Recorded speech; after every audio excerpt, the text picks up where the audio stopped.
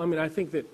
one of the things that we learned in, when we were trying to get past those, those common sense reforms um, last year, Vice President Biden and I had um, a meeting with a group of technology people and talked about how um, guns can be made more safe by making them either through fingerprint identification, um, the gun talks to a, a, bracelet or something that you might wear,